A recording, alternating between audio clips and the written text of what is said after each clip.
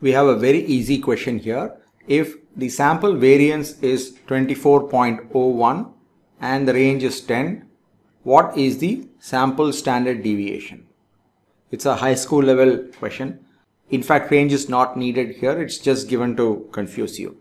As you must be already aware, the standard deviation is nothing but the square root of variance. So if we do square root of 24.01, we'll be able to get the answer. So let's do that. Square root of